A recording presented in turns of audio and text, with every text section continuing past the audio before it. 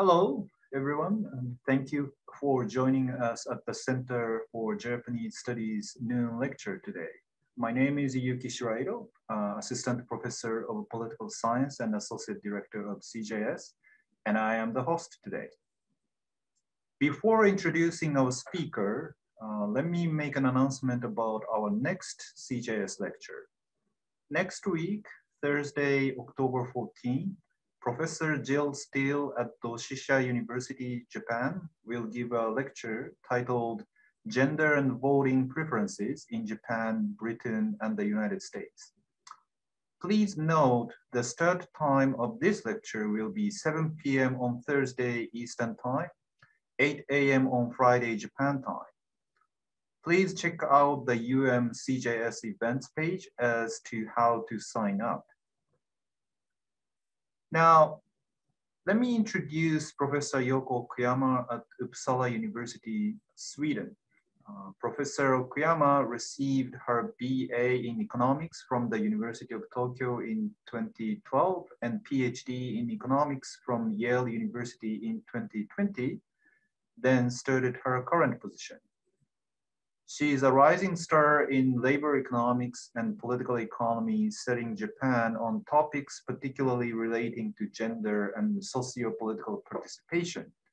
She has multiple papers on gender representation and political institutions, one of which uh, will be presented today. She also have a couple of publications, uh, one of which is in PLOS One. In this webinar, attendee webcams and microphones have been muted, but we invite you to use the Q&A function to submit any questions you have.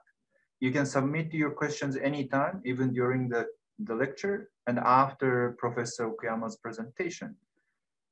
Uh, uh, I will ask her your questions as time, as many questions as time permits.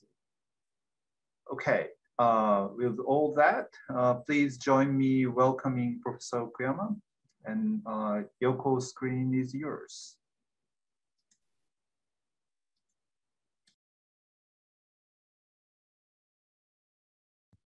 Great. Thank you so much, uh, Yuki, for a very generous introduction. And thank you so much for all to come to my talk. So let me share my screen first here.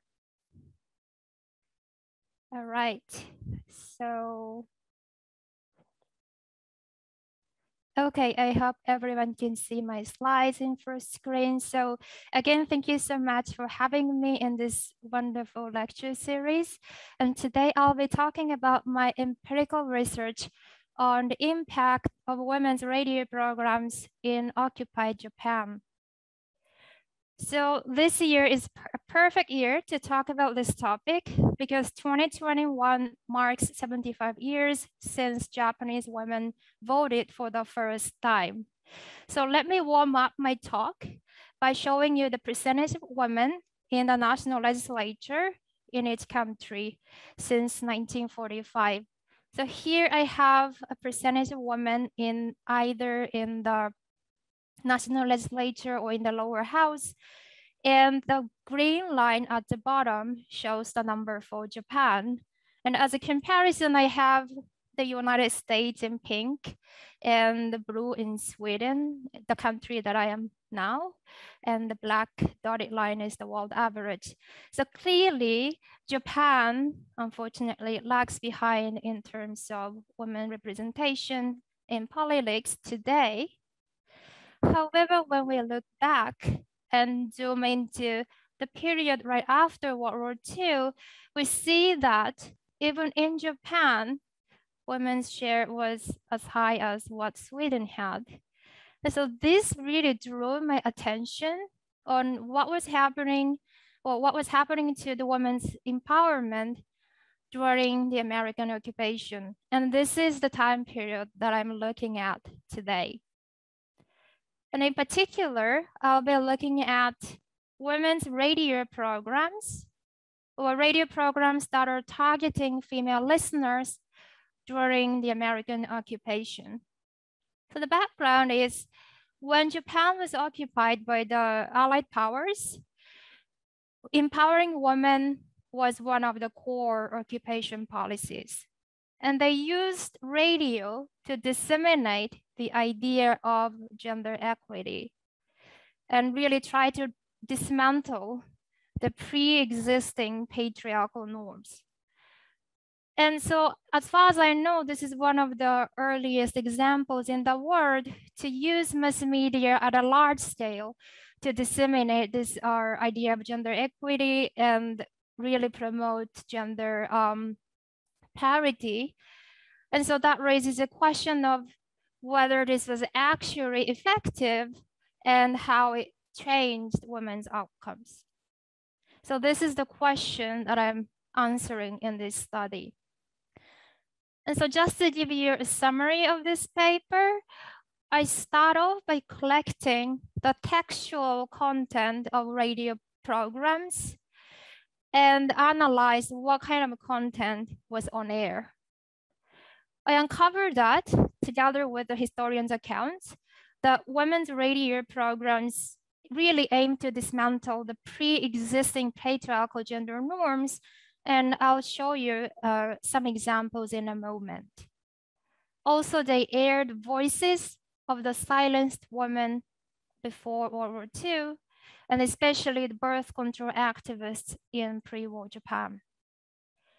Moreover, based on my text analysis of radio content, I find, I find that the women's radio programs covered a range of topics from women's role in democracy, women's career and family, or health benefit of birth spacing and birth control, and, and finally, um, freedom of choosing a marriage partner. And so this must have been very progressive compared to the status quo women's role in Japan. So that motivated me to examine the causal impact of the exposure to women's radio programs on their political participation, employment, marriage and fertility patterns. And identifying the causal impact is challenging because the causal relationship between radio listenership and listeners' behavior can go both ways. What I mean by that is instead of radio affecting our behavior, it could be the case that women who were planning to vote were listening to radio because they wanted to collect information.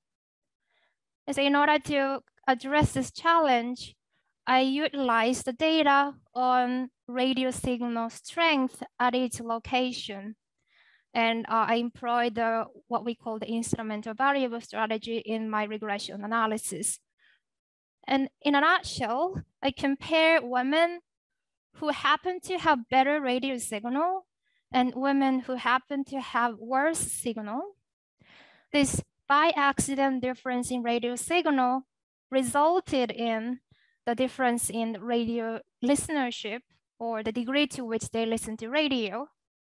And then that further resulted in their behavioral difference, like difference in electoral turnout. And so by doing this, I was able to elicit the uh, causal impact. And I, I hope to convince you that this was a plausible way to, to look at it.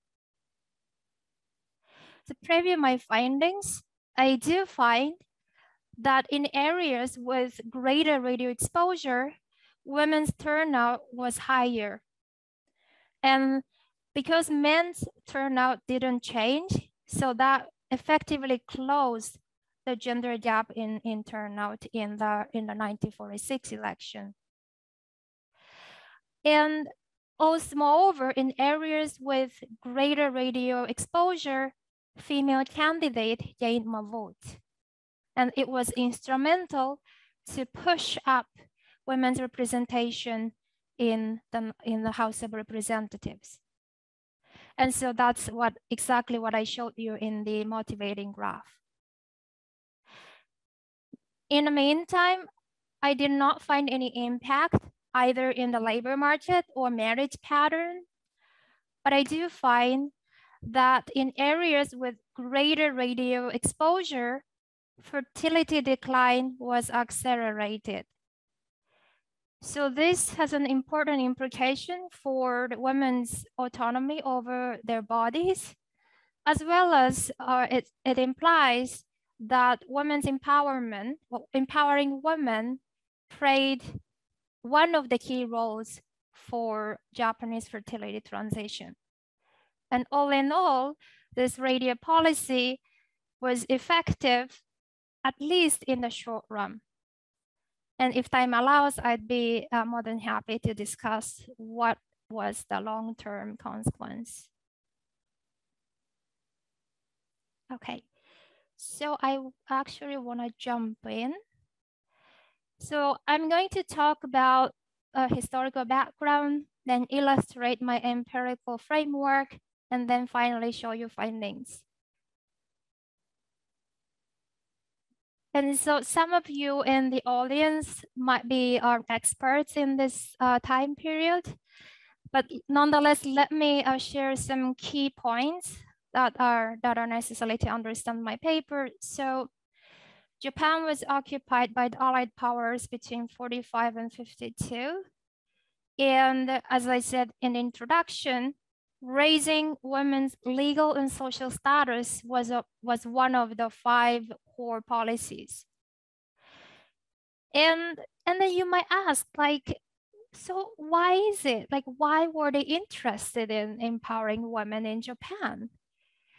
And so my reading of the historical accounts is that the primary aim was for peace building, uh, but not necessarily for women's sake.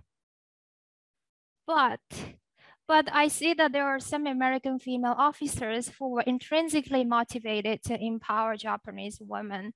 And they played a key role even behind the women's radio programs. So the Allied powers knew that radio was really an effective way to disseminate uh, their ideas. So they started women's radio programs as early as October 1st, 1945, and they continued throughout the occupation. So women's radio programs were called uh, Fujin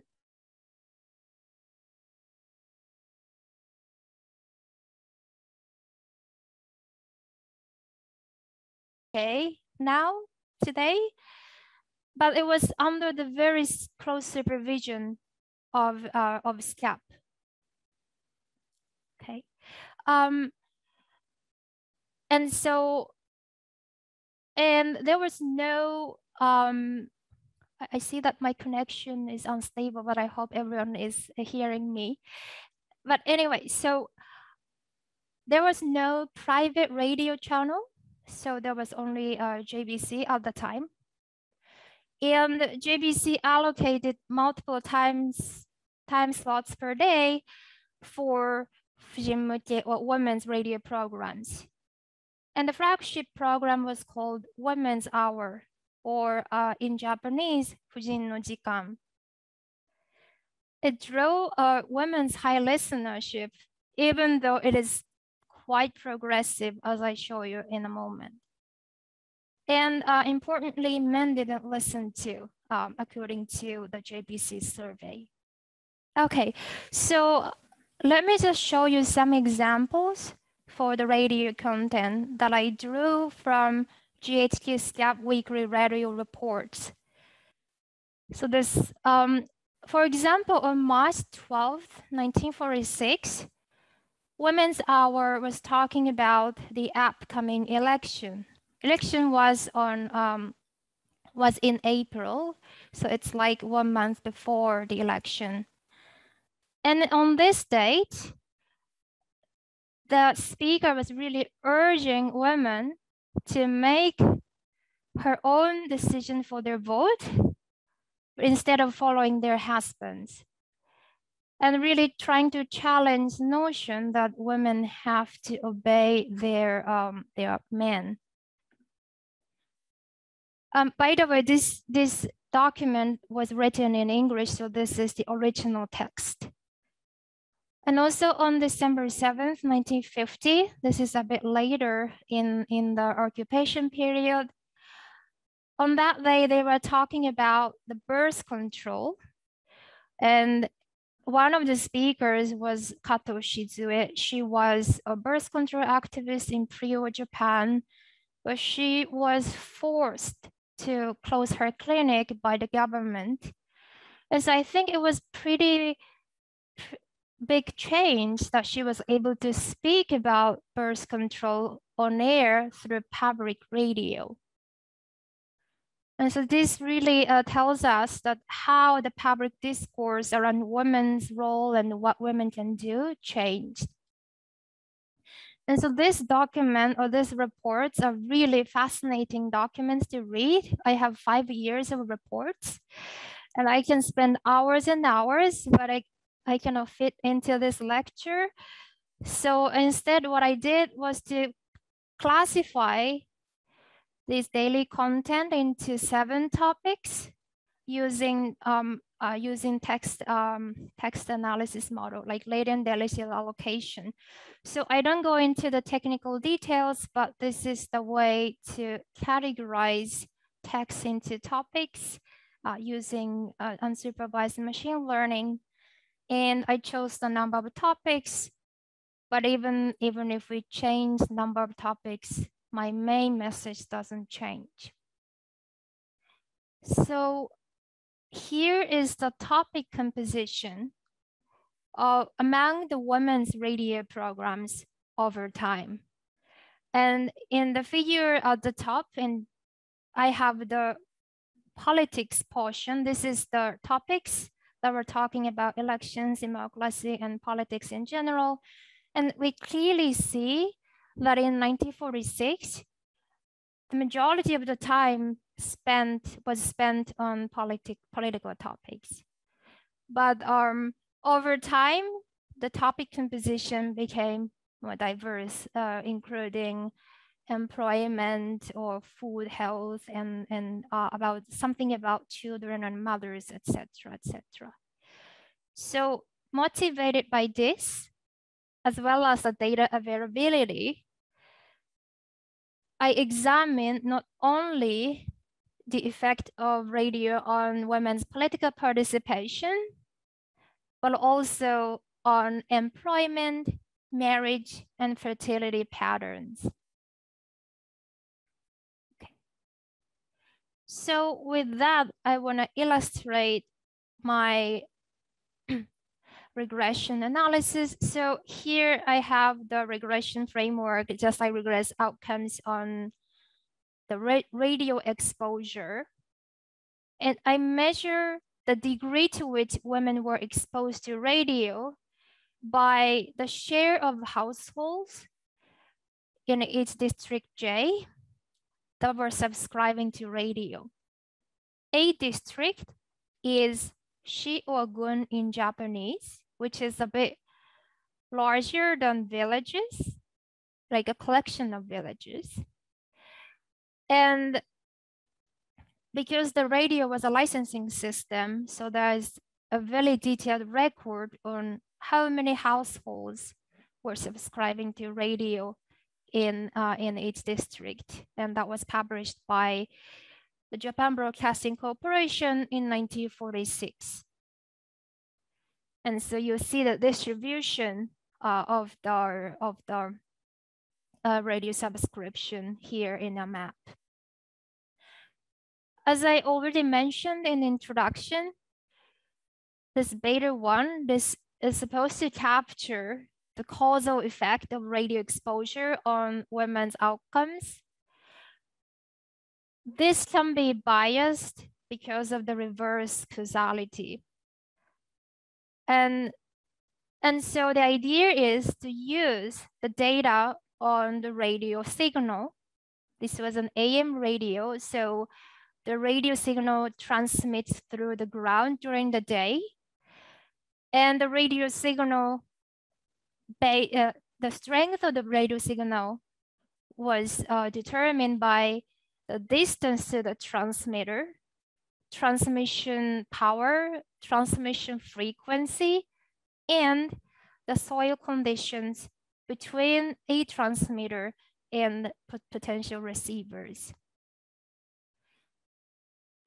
So I use this, uh, I use this knowledge and I basically compare women who happen to be in the district with a better signal due to the better soil conditions versus women in a district with worse signal because of the worse uh, soil conditions.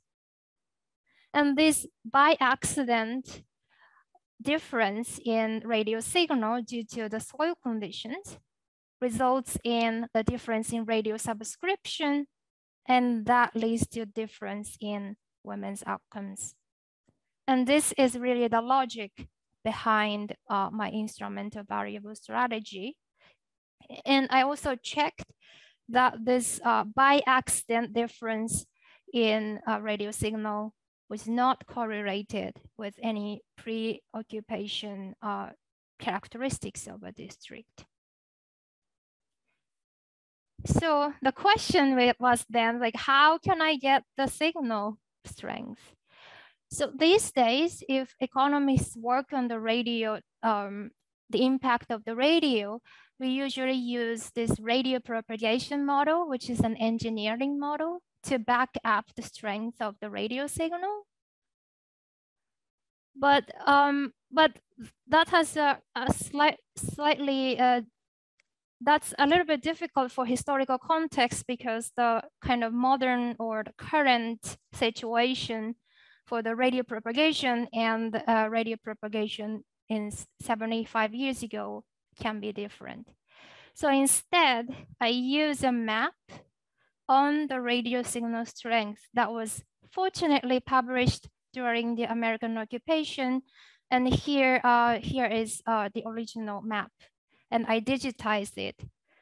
And according to the NHK Museum, this was published in 1949, but the measurement of the radio signal at each location started way earlier.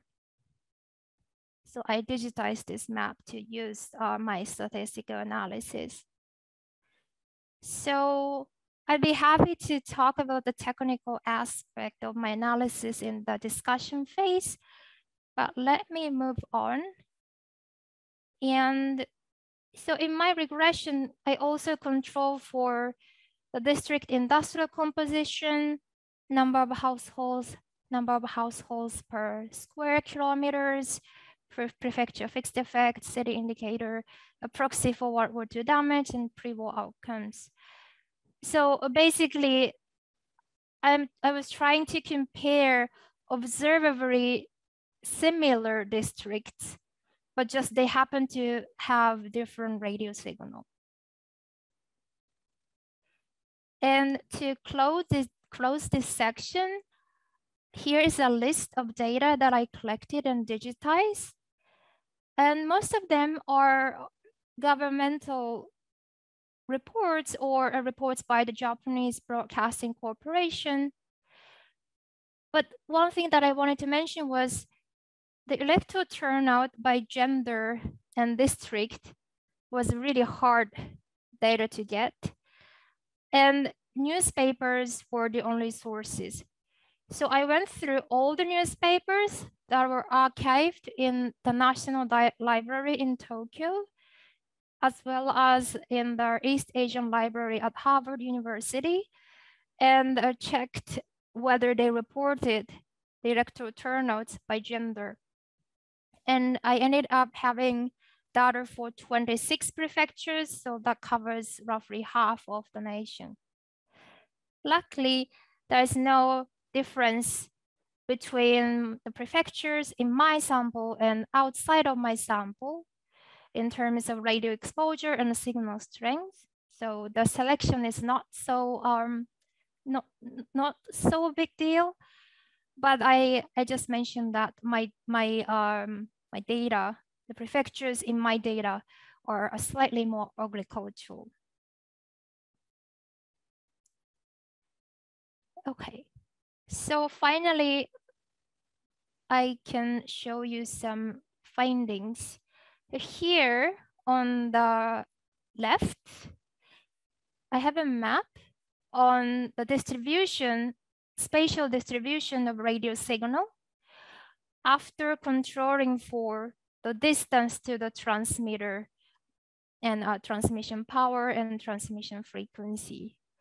So this is basically the variation in the radio signal coming only from the ground conditions or soil conditions. And it looks like uh, pretty random. And this is the variation that I'm using for, for my causal analysis. And on the right, I have a bin scatter plot of the radio subscription at each district on the uh, radio signal strength.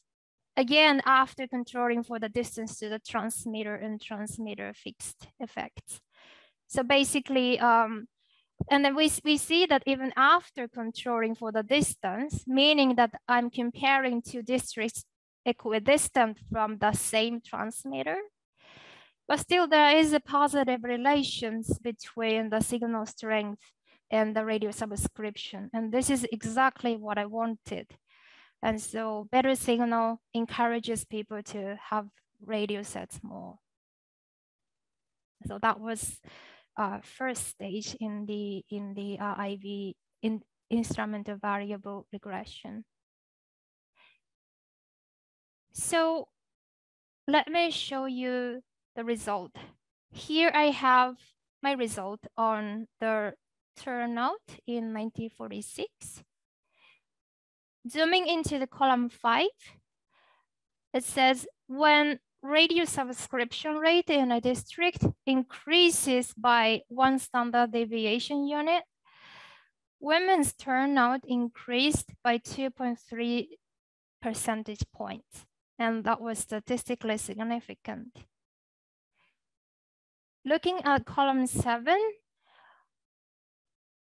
um, this is about men's turnout and it's a bit noisy, but we, I don't find any statistically significant impact. As a result, looking at column eight, women's share among voters who voted increased when the radio subscription rate was higher. That means that more women's voice were in their votes uh, in the 1946 election when they were empowered by the radio. I think I can talk about this slide. So, and I did a bit more um, in-depth analysis and I find that the impact of the radio was larger in the areas where men were scarce or um, male to female ratio was uh, was lower. So I just um, interact the male to female ratio in a district and the radio subscription. And I see that uh, the women's radio program's impact differs based on the male to female ratio. And this is in line with um, critical mass ma male backlash theory in the sense that acting on the new norms or new ideologies or, or, or not, I shouldn't say ideology, but progressive role of women should be less costly when there is a less risk of being retaliated in, in the area. So that's my interpretation. And um, lastly, I also look at what happened to female candidates who run in the district where women voters were exposed to radio. So when a district was more exposed to the radio, female candidate also gained more vote, and that was by 1.6 percentage point. So and I'll show you how large it was in the context. But in any case, based on my regression analysis, the radio intervention or radio policy was, uh, was very effective. And that was in line with what the SCAP radio report left. So they said in their report that women's radio programs undoubtedly contributed in, in the uh, large turnout. And, and if we look at New York Times, they people were pretty surprised that a lot of women actually came to vote in, in the first election in 1946. So basically my empirical findings are giving the empirical support for the for the for this claim. Okay, and um, and also uh, there are more couple, a few few words for this. So although I analyzed extensively on uh, on the 1946 election, uh, partly because of the data limitation, but I, if I look at like 1950 election, women's turnout kept increasing. So this this wasn't really a one-time uh, one-time effect. Turning to the women's representation in the House of Representatives, if I do a back of the envelope calculation by setting all the radio exposure to be zero and recalculate the election outcome, women's share at the House of Representatives would have been 4.2% in the absence of the radio, compared to the actual, actual share of 8.2%.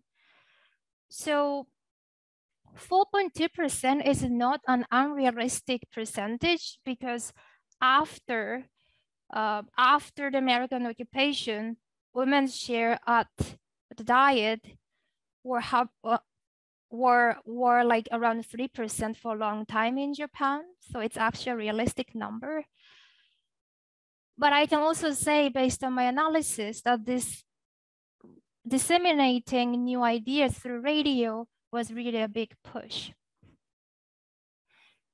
However, I do have some qualitative narratives or evidence that uh, there was some backlash. For example, uh, General MacArthur warned female parliamentarians from forming a female bloc. So I think there was some fear to have uh, many women in the diet. And also there was an electoral reform in 1947. And although the main purpose of the electoral reform wasn't really discourage women, but nonetheless, some politicians knew that it was going to be very detrimental for women's representation. Um, and I can see it from the diet minutes. But nonetheless, it happened. And as they expected, women's share dropped and, and just uh, stuck at the very low level later. So maybe that was the cost of having a big push in, in the uh, very early stage of the uh, gender equity. Okay, so that was the political part. Now I wanna sh shift our attention to other dimensions of women's lives. And um, I actually wanna talk more about fertility, but here quickly I have our results for women's employment. Basically, I do not find any impact. So, and also I didn't find any impact of radio on marriage pattern. But um, what I do find in um, for fertility transition was I thought interesting. So here on the left, I have the average live average number of live births at each district and I split the sample into three groups, districts with high exposure to radio, uh, medium exposure and low exposure, and uh, plot them in the figure. As you can see in 1935, there is no difference um, between these groups. And there was a, um, and in 1947, still there is no difference. But between 1947 and 1950, the fertility decline happened nationwide, but the speed was faster for the district with, uh, with uh, higher radio exposure.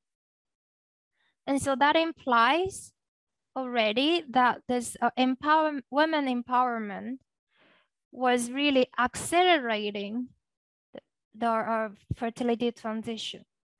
If not, it didn't trigger the fertility transition, but that really uh, accelerated the speed of it. And formally, I did again um, a regression analysis. And in column three, I confirmed that there is no impact or statistically significant impact of radio subscription on the number of live births per 1,000 population in 1947.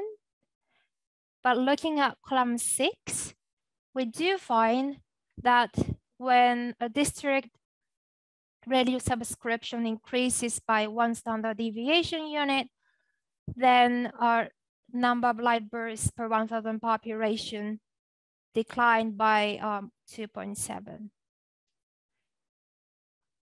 Um, you might ask me whether this was coming from the increase in abortions because abortion was legalized uh, in during this time period. And you might think that women with progressive ideas through radio may resort to abortions more but at, at least by looking at the number of stillbirths, which is the sum of our natural prenatal death and abortions, I do not find any increase there. And if anything, um, if the radio exposure increases, the number of stillbirths decreases. So it's fair to say that this decline in the number of live births was coming from the family planning instead of abortions. Okay. So I'm approaching to the end of my talk. So fertility decline emerged. So um, just to um, wrap, kind of summarize. One standard deviation increase in radio exposure really reduced the 1950 birth rate by 2.7 per, per 1,000 population. That accounts for more than a bit half of the standard deviation of their birth rate in that time period. So it's not a crazy large number. Um, uh, and we should be reminded that the fertility change was quite uh, substantial at the time also because at the time marriage pattern didn't really change in response to radio. Labor force participation also didn't change. So my result suggests that um, this uh, fertility change is, is just coming from the family planning preference for the number of children and kind of the acceptance of having fewer children uh, instead of other motivation like uh, career motivation or delayed marriage. And, and so really uh, my findings highlight that empowering women is also part of the story of Japan's fertility transition. Okay. So um, I want to wrap up my talk. And so in this study, I examined the causal impact of being exposed to women's radio programs under Allied occupation on women's political participation, employment, marriage, and fertility patterns. And I do find that uh, political participation immediately increased in response to the radio policy. Also, fertility transition was accelerated a bit later in 1950. uh, but I didn't find any impact in the labor market or marriage pattern. And so my findings provide quantitative evidence that, um, first of all, this radio policy was effective. So this is consistent with what historians were talking about, um, but kind of give our quantitative support for that. And also this is um, one of the examples in the world that the public policy can kind of actively trying to challenge the existing patriarchal norms to, to try to push the uh, gender equity in, in the society. Um, but uh, of course, looking at the current Japan's situation, maybe one time big push may not be enough. And there is a lot of work or research to be done, uh, asking, for example, why then Japan didn't continue growing in terms of gender equity, but rather stuck at the kind of low state for a long time until our 80s and 90s. And with that, thank you so much for having me again. And I really look forward to the discussion phase.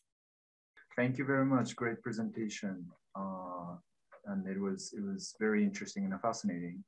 So uh, we already have uh, you know, several, well, more than several questions on the Q&A queue. And I would like to sort of um, group some questions into, uh, into a few sort of, you know, like a common common topics. One is so the first, um, I think the first group of questions are regarding mechanisms you are um, you are sort of uh, well the mechanism in which the the radio exposure uh, affects the, the the several outcome variables the turnout uh, fertility and other and other things so and that's that's actually actually i want to um, I want to ask the question in, in, in the similar line, but let me read uh, let, let me read the, the, the audience questions uh, in, in, in that group. So uh, one is from Alison Alexi. Uh, thank you for this fascinating presentation. Could you share more of your thoughts about why radio in particular might have such a gender effect? Uh, for instance, was radio more available to women than newspapers or other media? I was trying to imagine if it was possible for women to listen to radios privately or it is always shared with everyone in the house. So that's that's one one of you know one of the questions I think regarding the, the mechanisms. Um, the um, another uh, uh, another question is, so uh, from Michael Yamada, could you explain how many Japanese listened to radio as a whole in the post-war period? And of which, could you explain how many women did so regularly? Uh, did this trend change since? And if so, could you explain when and how? Um, there, there are some, uh, actually some other uh, questions regarding mechanisms, uh, which is, um, uh, well, uh, from Saki Kuzushima, could you please elaborate how women at this period listen to radio, which is similar to the question from Allison, I believe. Did they listen to it uh, individually at home or did they gather at some common place? Um, and uh, so the the the other uh, so well other another question is regarding the content of the radio. Um, so uh, from Randy Kawakita, were the programs talk shows, panels, interviews, etc., or were there any home dramas, soap operas? What time slot were they aired? Um, and uh, well, actually, there. sorry, I think I, I, maybe I'm I'm reading too many questions, but I hope can, maybe. Yeah, um, sure. So these are really a wonderful question, and thank you so much. So yeah, can so, I answer and or can, can I, I, add? Can I add sort of um, on top of those of questions? Of so you know, maybe maybe because I'm a political scientist, I'm I'm probably more skeptical about the effect of media in general on on political behavior of people. And I mean, you know, there there you know the the evidence, at least as far as I know, the evidence for the effect of media on people's behavior is is probably at the most mixed, I'd say. I mean, in some cases you see the effect, and some in other cases you you don't see much effect and mm-hmm. especially at the individual level, evidence is, is very mixed. I, I, I would say. And I know, you know, maybe, you know, you, you probably cited, uh, you, you probably cited this, but I know, I know, um, I know a study using a West German TV signal reception uh, as an instrumental variable and, and uh, tried to estimate the effect of that uh, effect of exposure to West German TV on East German political protest and the effect was actually negative. Uh, that so basically, you know, those who watched West German TV in East Germany uh, tend to participate uh, political protests less likely. And so, you know, there there's there's all you know, we we we kind of know like a lot of those sort of uh, mixed evidence of different directions and so on and so forth.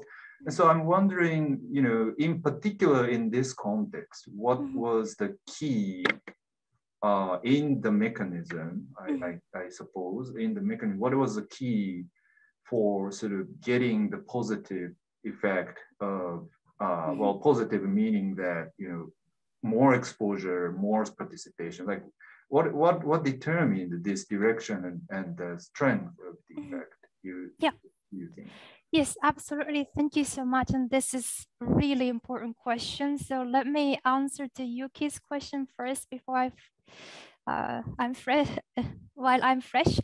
So yes, there are, are other media papers and I'm a little bit blanking that particular paper about the Western and Eastern Germany paper. Maybe I mixed up with others, but um, yes, so I think a big difference between my context and other contexts that were studied was uh, there are two. One is that this was right after um, women's suffrage. So this was the first election for women.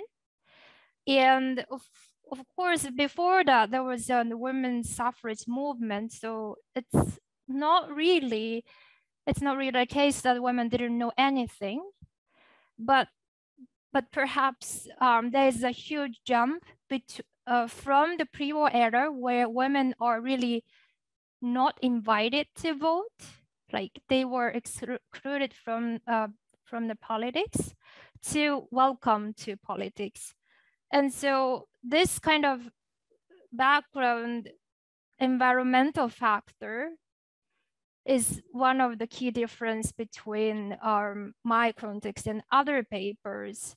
And I think that magnifies the effect of the media, but this is very contextual. And the other difference is, uh, is that basically when we think about the effect of media, we also, we, we need to understand what is their outside option or what was the alternatives from the listener's perspective. And that varies depending on the context. And in some papers, the outside option or alternative is watching, watching TV or other radio program or reading newspapers. And so there is some kind of like informational crowd out or, or uh, the radio effect really depends on what else the listeners did if they didn't listen to radio. And I think that really drives the difference between different papers. In this context, and I this is gonna be related to the very first question, um, there was no other radio, like private radio shows. And also, at least in the very beginning of the, of the occupation, there was paper scarcity, so newspaper supply was limited. And that was, at least according to GHQ's CAP radio section, that was the exact reason why they really pushed radio, like they really invested in radio shows to reach out people. And so it's like in this context, outside option is not to listen to or not to expose to any media. And I think that really causes the, um, as is a positive uh, or significant effect. And, and so that's my working hypothesis. I'd love to hear your thoughts. And this is exactly what we have to be careful when extend my or generalize my findings to other contexts. And okay, oh, I had other questions. So mechanism, um, I'm not sure if I can answer all of them, but let me try to show you one, uh, one survey results that I found in the archive. Uh, I hope that you can see it. So this is um, program rating during the daytime hours, uh, Monday, Friday average. So well, I don't, I didn't write. So this was a particular week of, I think 1940s, nine or eight, but uh, uh, excuse me, I, I didn't write it here. So basically there was one channel during the day.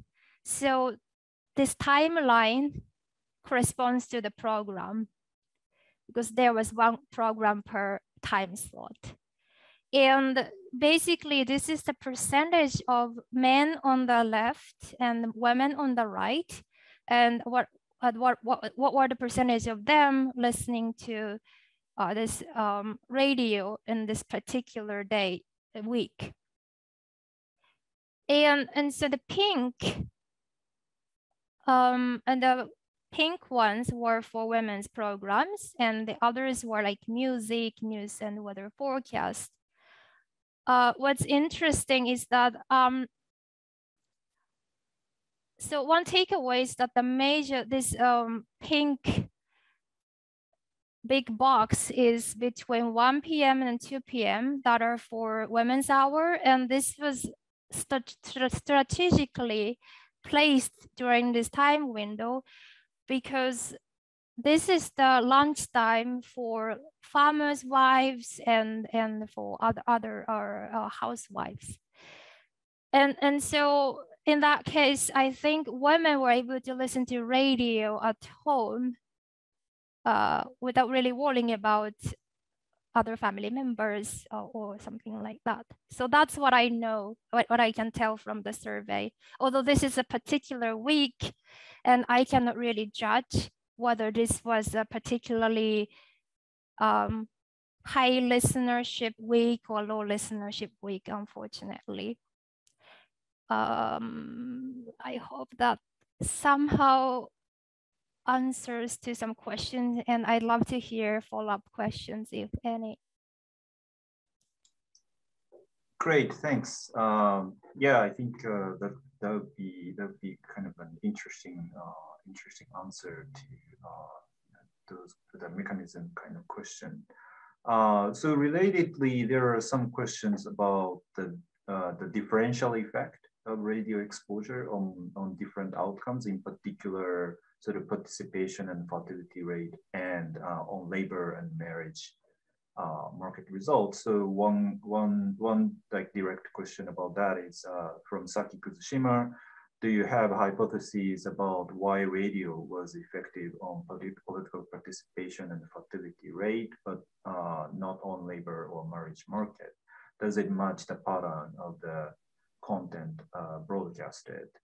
Uh, uh, from Nuan Nuan Shan, thanks for the super interesting presentation. Could you offer some insights on why the effect of radio program seems transient?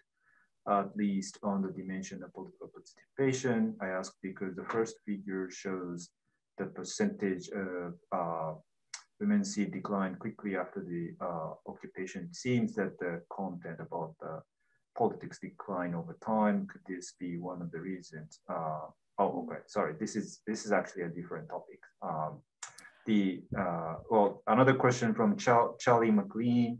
Uh, thank you for the great uh, presentation. I was wondering if you could speak more about why you think uh, why you think you find significant effects on women's radio programs, on political participation and fertility decisions, but not labor uh, market participation and marriage. Uh, so that's uh, sorry. Uh, I think I I picked up one sort of not super related question, but if you could answer both of those, that would be great. Yes, yes. So the for the labor market outcome um, and marriage.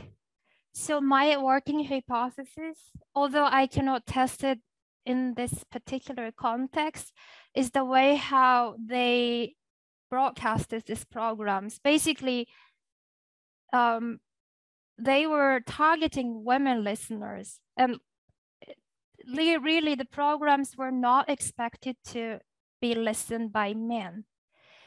And so, for example, in the labor market, I cannot see, so, so the labor market participation is a kind of an equilibrium outcome between the labor supply, uh, there are women, and the labor demand that are employers. And, and employers are heavily male dominated at the time. Um, I mean, on, on, top of that, men came back from, from the battlefields, and that's another story. And so my take is that even though women changes like their in their intention to work, if the demand side didn't change, then that that's not going to be uh, unobserved outcomes in the labor market.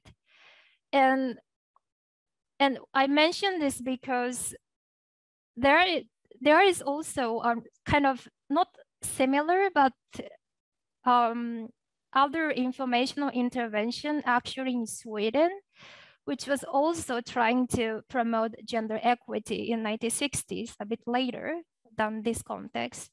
And that uh, state TV was actually targeting both men and women.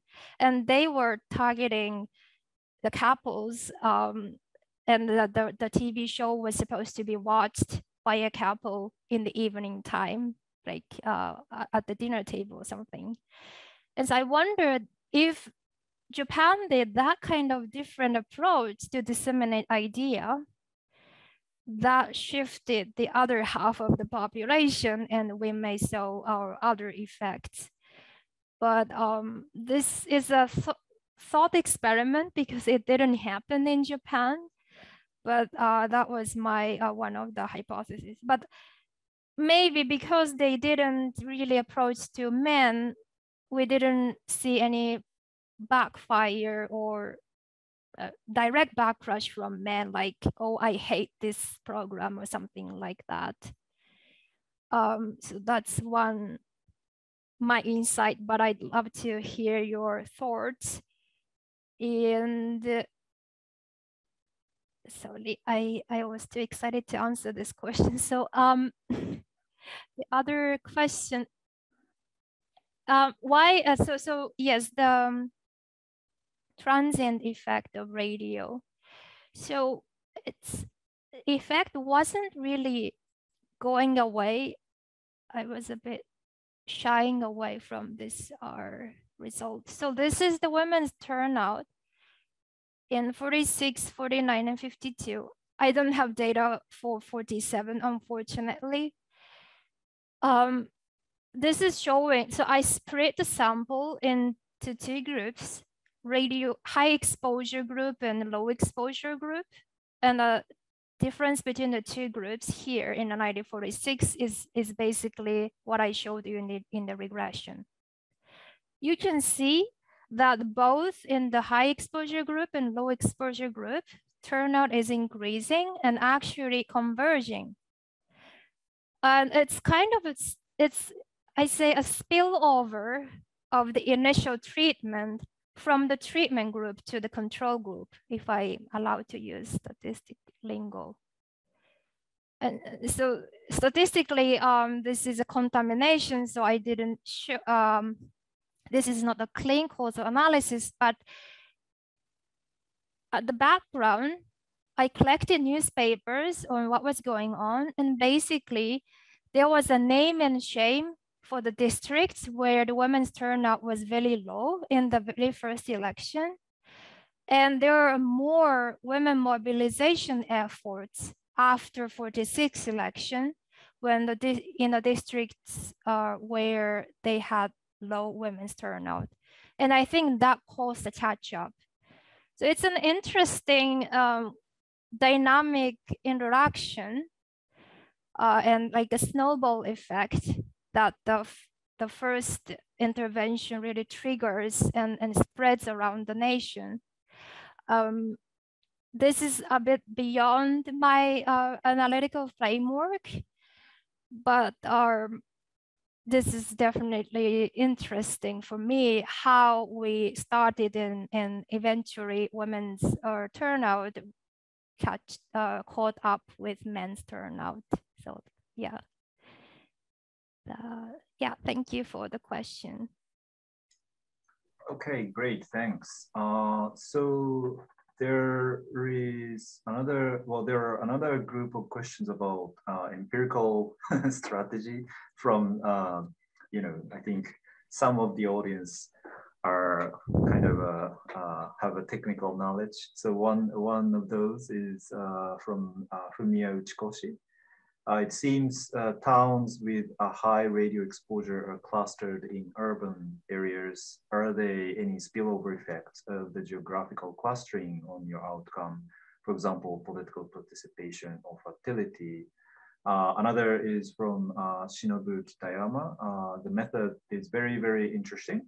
Uh, but one worry uh, could be that the strength of the radio signal might index various third variables, including how rural and uh, thus conservative, supportive of the traditional gender roles the locations were. Uh, conservative regions might have been both less likely to subscribe to the radio show uh, and more likely to show behaviors consistent with more traditional gender roles. Is this a concern? And if so, uh, how can your uh, instrumental uh, variable regression address the problem? Uh, another question from Komo uh, Yuri, uh, Komo Yuki, is there any factor you considered that affect both the number of birth and the women's radio exposure? I think uh, uh, the, the problem could be uh, there there is there is a confound confounder on affecting the both field strength and and uh, fertility, I believe, because that's a, that's an instrumental variable, like uh, exogeneity of instrumental variable assumption would be violated if, if such a confounder exists. Uh, and uh, there, there's uh, one final thing, which is uh, about sort of the incumbency advantage may be another sort of possible confounder. Uh, so uh, from a question from Atsushi Yamagishi, do the incumbency advantage matter here? After the war, I believe many incumbent politicians got purged, and all women candidates were new challengers. Uh, well, of course, they couldn't participate in the elections. So implying that uh, the presence of women, like uh, women candidates, was a larger in districts with more extensive purging. And these radio listenership or, or uh, field strength or UIV variation in it correlated with the existence of strong incumbents in an electoral district. Yes, um, thank you so much. So this is a great group of uh, technical questions, so that may be technical a little bit. Um, about the incumbency effect, or, or maybe, no, I let me go back to the first question. Maybe that's the easier order. So I hope I address uh, some of your concerns. So this is the illustration of how my IV exactly works.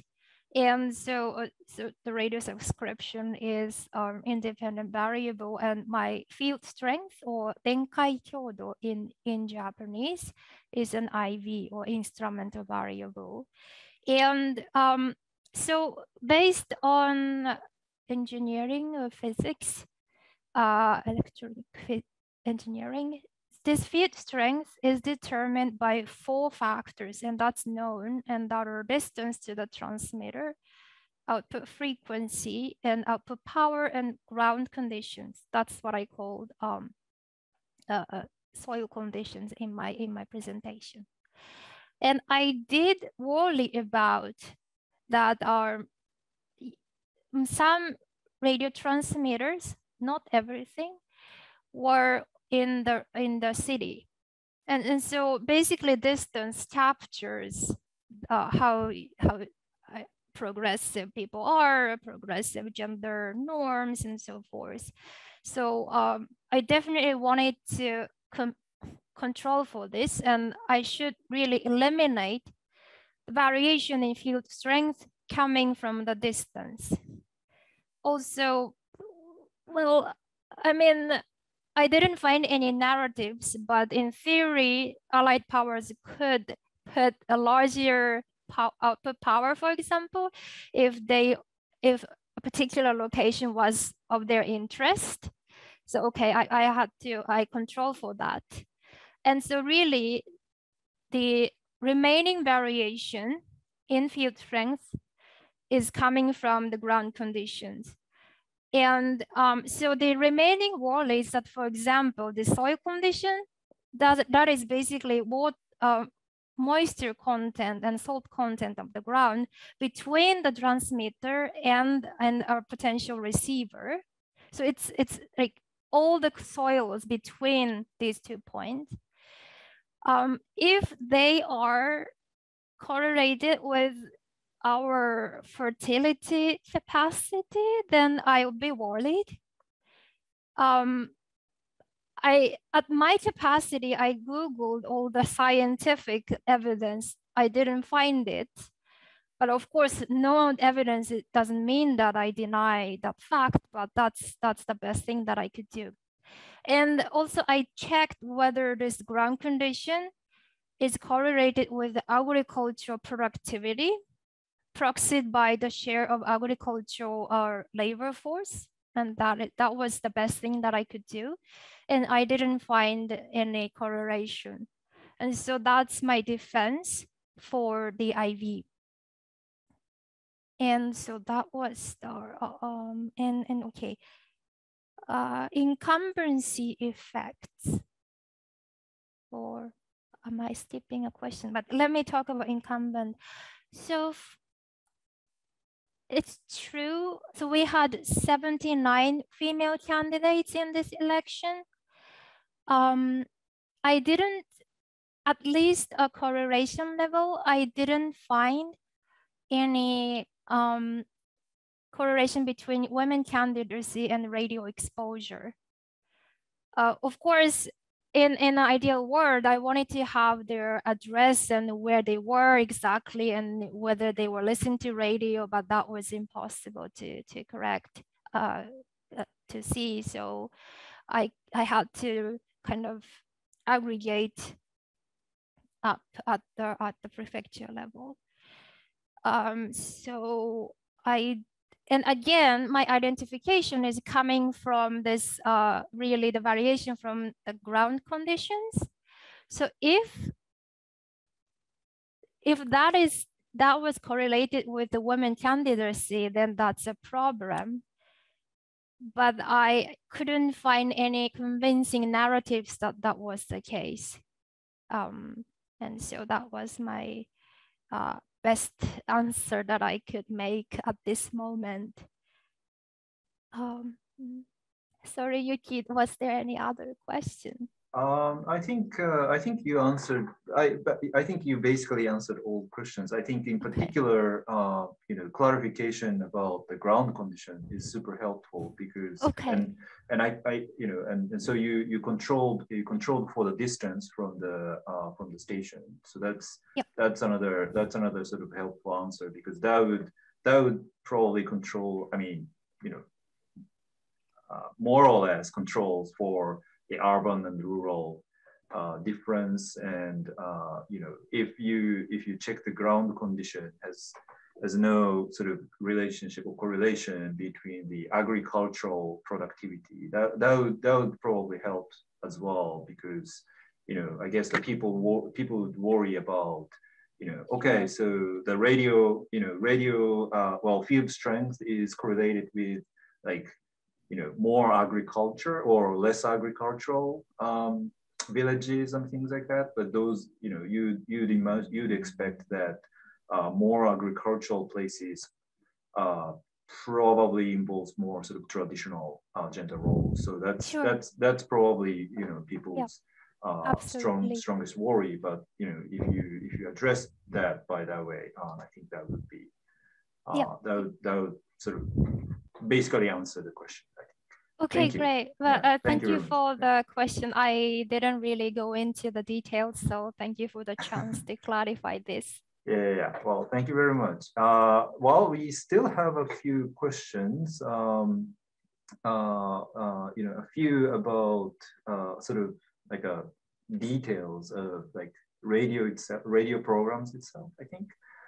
Uh, so from uh, from Michael Yamada, uh, I suppose the language on radio was Japanese. Uh, was Tokyo Rose, uh, Miss Miss Toguri from Chicago in this effort? That's that's a very kind of a specific question about the radio, and I don't know if you have answered to this question, but there are some others. So you know, you you from from Basumar Arshad, uh, you mentioned that the original content was written in English.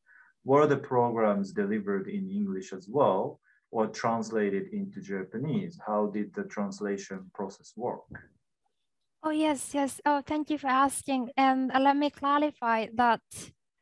Uh, first of all, what I showed you in my presentation was a radio report, which was a summary of the radio content every day, written in English. But that wasn't the exact transcript. transcript. And, and transcript was in Japanese and written in Japanese, uh, checked by SCAP two weeks before it's on air. And I don't exactly know how it worked, but it seems that they, the radio unit had a translator. So somehow they translated into English.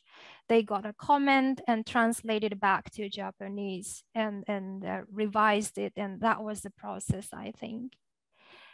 Um, and this is this language and, and also there are in the beginning all the production was ha happened in tokyo.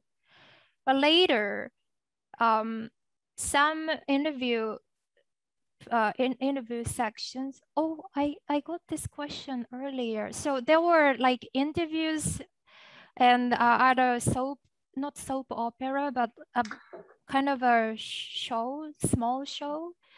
And that was a mixture. And really they mixed different types of um, formats in order to keep listeners attention and and that's that's in the record.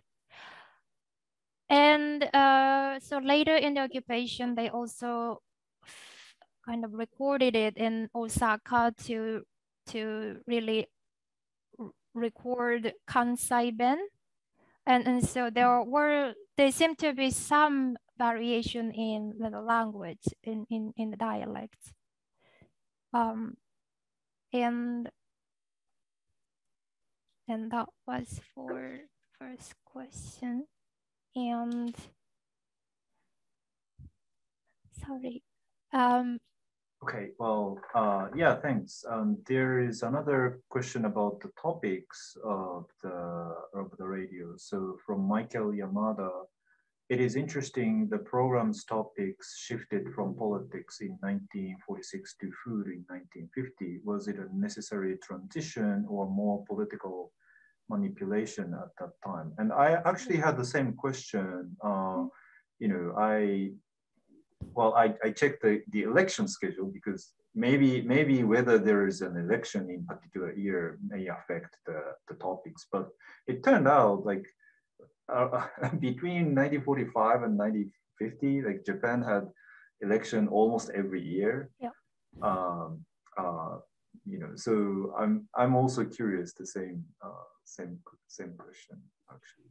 So my reading of why political topics lost their weight in the radio shows was because of the um, Korean War and and and it seems that at least in within the radio unit, uh, SCAP radio section or radio unit, and especially among women officers, they were trying not to be political.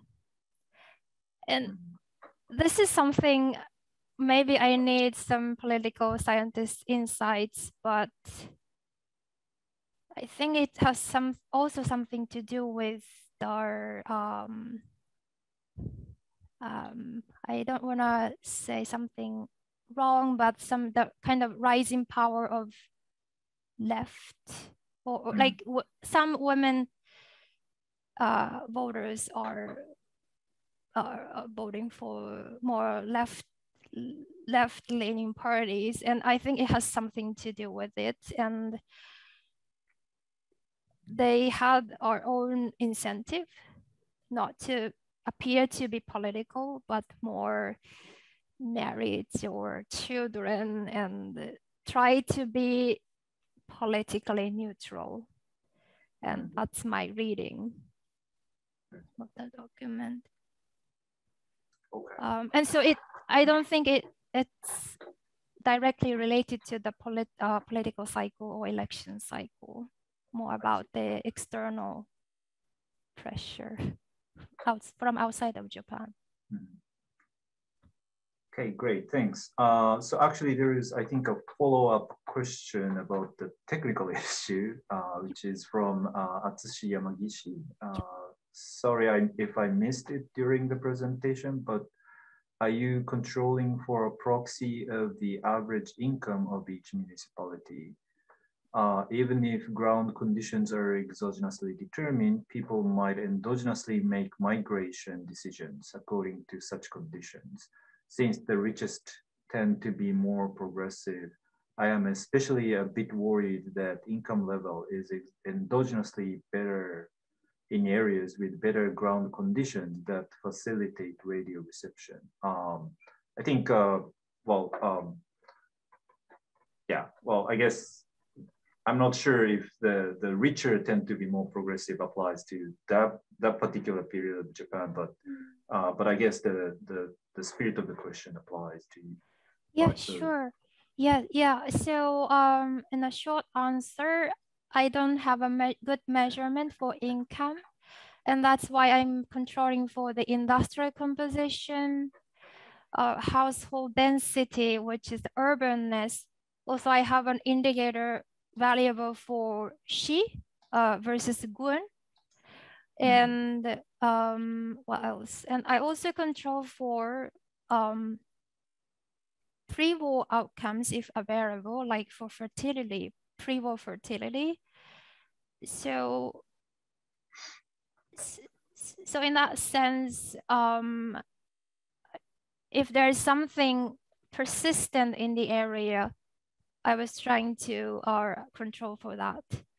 And so the ground condition or uh, soil condition, that matters not only for your own location, but between a transmitter and you, and it's pretty complicated. And so if listeners knew that where is really the best place, then they might have migrated. Uh, I, but I don't think that's uh, way too much of a calculation.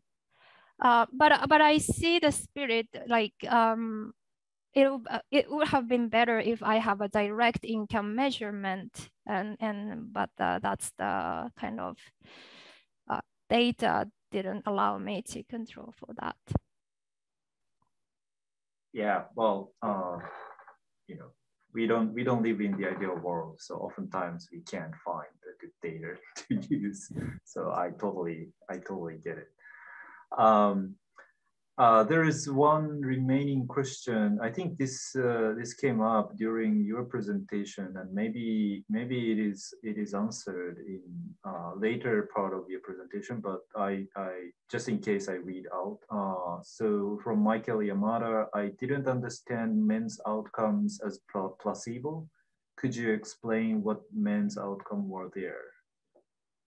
Maybe oh, you can yes. revisit yes. Uh, that part of your presentation. Yes, so uh, particularly for turnout, where I see a positive impact on uh, women's turnout.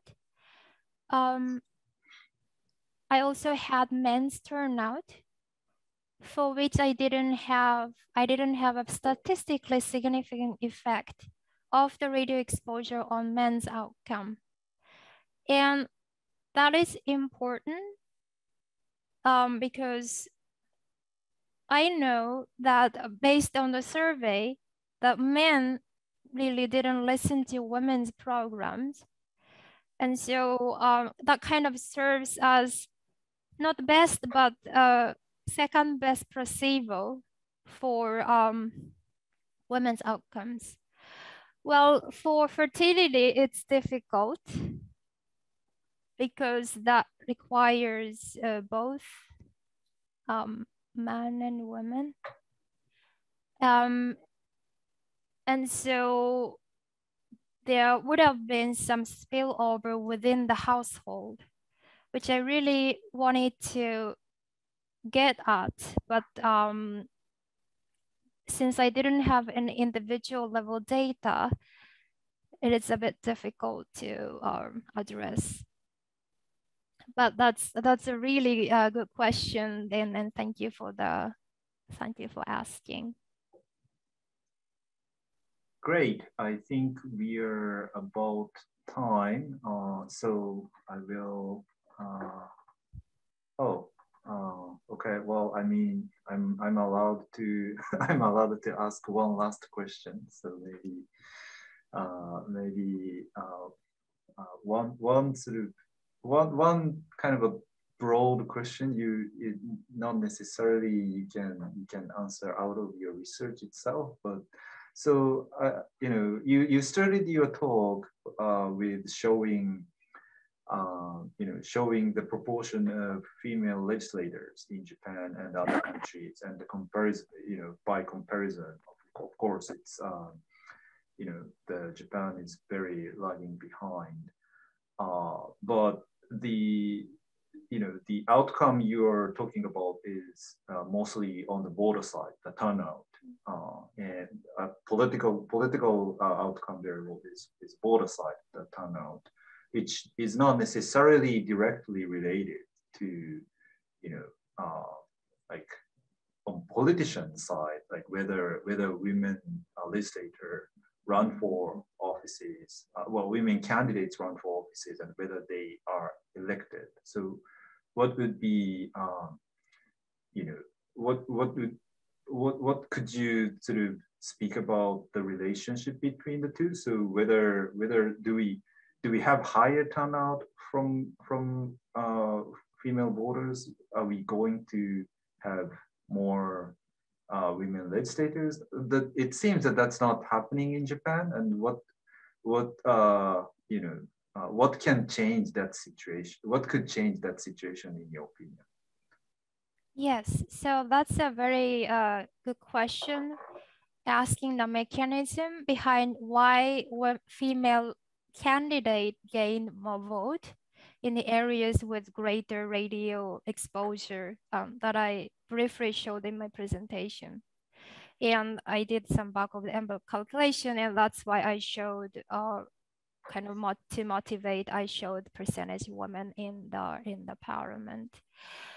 Um, but the remaining question that I could not answer was that was this effect coming from the um, external mar uh, like extensive margin in, in the statistical lingo. So is was this increased women female voters or turnout, women's turnout were going to female politicians or it's the effect is actually coming from intensive margin, meaning that women who voted anyway, but now because they were more exposed to radio, they kind of um, change their choice. Like, oh, okay, maybe I don't follow my husband and I'm gonna vote for female candidate.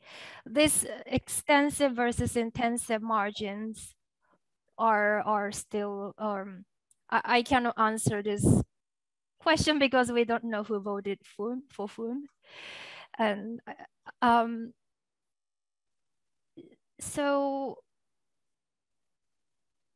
and and, um and it's a bit difficult to compare today's situation and back then especially i need to the measure like the distance between each candidate's platform and how differ male candidates and female candidates are uh, how, how, how different they were in my sense although i can be wrong because i didn't quantify that in that election women's platforms were really different from what men, male candidates had and maybe that gave an option for women voters uh, for whom they wanted to vote. Um, but that's definitely, I need some evidence to, to speak about this. Great. Thank you. Thank you very much. Um, so, uh, you know, I think, uh, well, everyone virtually, so join me uh, thanking Professor Yoko Okuyama. And, and uh, that's, Thank you this so is much. The, this is the end of today's lecture. Thank you very much. Thank you so much.